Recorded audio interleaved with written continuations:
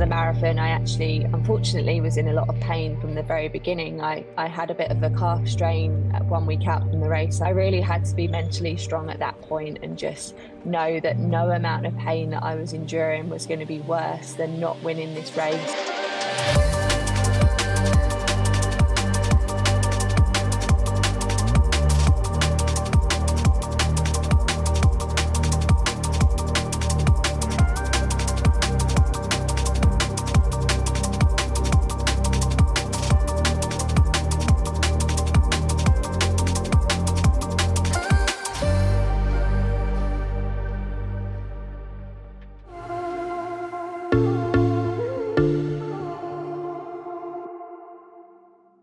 So obviously I was in a lot of pain during the marathon in Kona. I feel like mentally I was able to take myself to a completely new place that I've never been before when I raced where it didn't actually matter how much physical pain I was in, I was never going to give up. When you've been someone that has been wanting something for so, so long, since I first set foot on the island in 2015 as an age grouper, I dreamt of one day racing the Ironman World Championships as a professional and maybe one day winning it as a professional.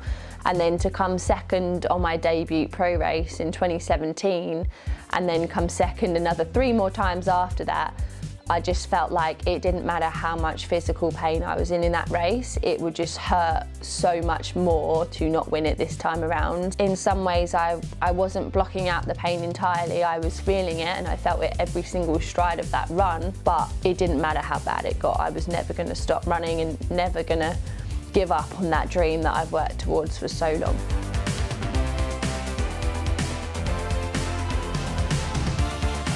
I'm just on my way to the Fortius Clinic here in Bank to find out what the hell I actually did to my leg in the race in Kona. We've had a couple of scans and MRIs, but I'm going to go through all of those with John and find out the extent of the damage.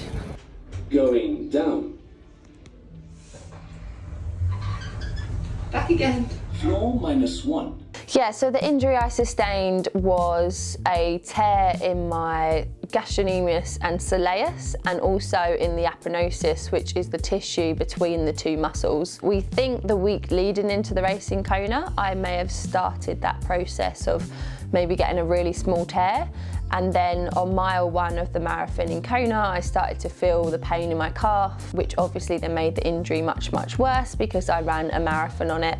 If I'd actually stopped at that point, it probably wouldn't have been a, a particularly bad injury. It would have been one that took maybe six weeks to heal. The specialist that I've been speaking to basically said that it unzips. So the more that I ran, that tear just would have continued to unzip and get worse throughout the course of that marathon. During the run?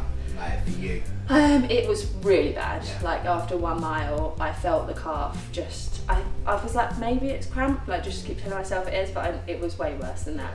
Um, and then my like everyone said when they were watching, they're like, oh, you look really good running. Mm. And my husband was watching, and he was like, but I, you did look really good running, but it's not how you run. You were like being really cautious. Your technique looked really good, yeah. but you wasn't flowing and running how you can. You were just like he could tell. I was like like is this going to completely go yeah. but like really lucky that it didn't somehow it managed to stay intact enough yeah, to function yeah. so it's more just a sensation here okay. but when I went to see John which I think was about two weeks ago two, I couldn't yeah. do that like I held onto his hands and it actually I was like mm, that's actually a bit painful so okay.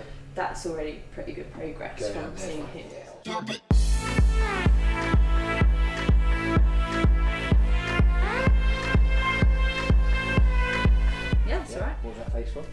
for? I, I always pull faces. That's okay. just feels like a bit like it's just pulling a bit. Yeah. Just yeah, like from here downward, but it's not pain. It's just like a. I guess it, it feels like it's quite tight. Yeah. That's, that's what it feels.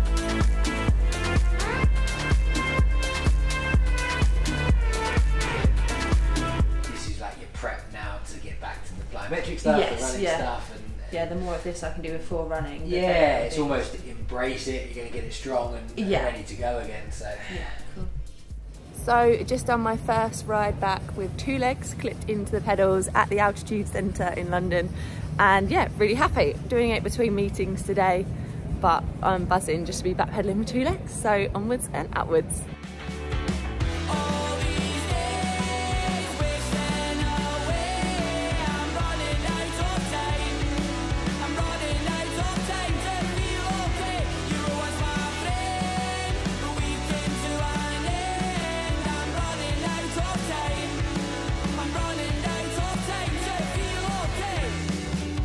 We went to fly home from Hawaii and some people may have seen on social media the image of my leg that looked extremely bruised and we didn't know at that point what I had done. We actually had an emergency room doctor that Reece coaches and he was quite concerned that it looked like DVT in my leg and he didn't want me to get on the plane home, he wanted me to go and get it checked. Fortunately, or unfortunately, however you look at it, our flight was actually cancelled that evening to leave Hawaii so the following day I went to the Kona hospital and had an ultrasound scan. They ruled out DVT, you're safe to fly home, but you've definitely done some damage in there. We can't see exactly what you've done because there's a lot of inflammation, but when you get home you should probably go and get it looked at. By the time I got home, the swelling had reduced quite a lot, which I was really happy about. I did half expect to get home and just have like an elephant leg. And then the following day, I went and had another ultrasound and then we did an MRI scan the following day which confirmed that I had a tear in my gastrocnemius, in my soleus, and also in the connective tissue. I think about two days later, I also went to the London College of Osteopathy where they was doing a full course on ultrasound scans and basically I became the guinea pig where they were showing my leg to various different students there and most of them actually couldn't believe I'd run the marathon with the tear that I had done. They said I also was really lucky because although I'd done quite a significant tear, the muscles could still function and work together. My fear in the race was that would it get so bad that the muscle actually couldn't function anymore. But fortunately, although I'd done quite a big tear, everything was intact to still work, which meant that my prognosis for recovery was much better. And they straight away said, although it will be quite an extensive recovery, you should make a full recovery recovery. You're going to need to do quite a lot of rehab work, which again is something I quite enjoy doing. I enjoy spending a lot of time in the gym. So as long as I do all of that correctly, it's not going to be something that hopefully holds me back. It should be something I can fully recover from and get back to racing again in the new year.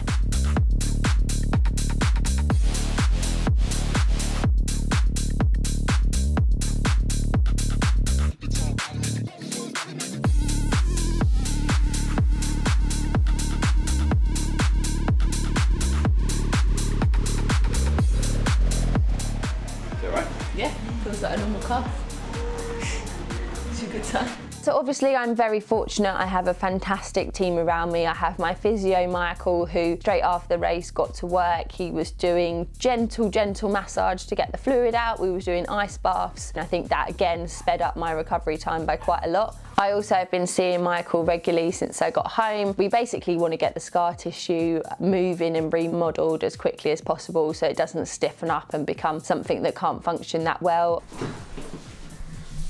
Good going to destroy that pool tomorrow. Yes, and everyone in it. Exactly. I also have been working with a Red Bull physio. He's been coming and working on the strength and conditioning side with me, making sure that we get that area as strong as possible, loading it when it's lengthened to make sure that building back into running, I've already done so much load for it that the tendon and muscle is really, really strong. It means that it limits the chance of any re-injury occurring. I started at speed 10 and then gradually built up to 11 each one, but 11 felt fine, but I'll probably just do that again. I feel like my upper body feels a bit stiffer. Yep. I don't know if that's because I'm hesitant, like there's quite a lot of tension in my shoulders, but I know I get like that anyway when I run, and I can be quite stiff through my fluorescent. Lower body wise, it doesn't feel too different.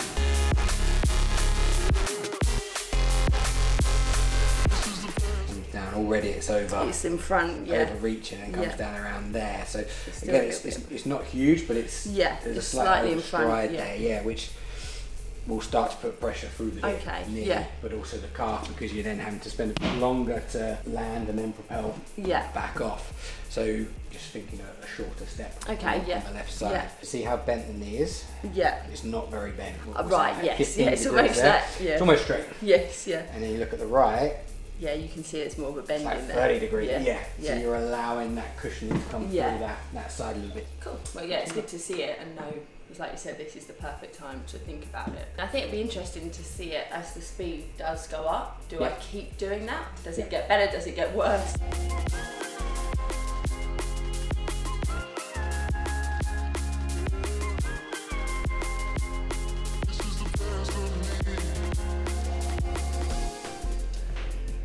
Yeah, you went for everyone left.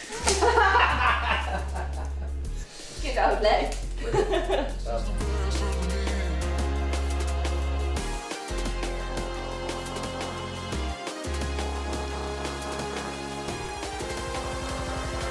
So you trained calf flexors before? Uh, no, no, and I, I probably should have done so. Yeah. It improves efficiency as well and it also adds speed. Uh, yeah. We've only seen it over 5k and 10k trials, but Okay, yeah. surely it translates to well, you would think. We started the new year with amazing news. I went and had my MRI scan on the 2nd of January. I'm making a really, really good recovery. We're at the stage now where I'm able to reintroduce running. So we're going to do that really gradually. We're not going to rush it. I don't think there's any point in me rushing coming back to racing from this. So you may not see me racing at the first race of the season, but I hope to be at the second race. It's all going to depend how my training goes. I'm actually heading out to Lanzarote to start my early season training, but it just feels amazing to actually start the new year being able to be a full triathlete again with swim, bike and run in my program. Thank you so much for watching this video. Hopefully very soon I'll be able to announce my full race schedule for the year. I'm really excited for what 2024 has in store for me. There's some amazing opportunities in triathlon at the moment and yeah, I can't wait to grab those as much as possible. Stay tuned as we'll have many more videos coming soon and like and subscribe.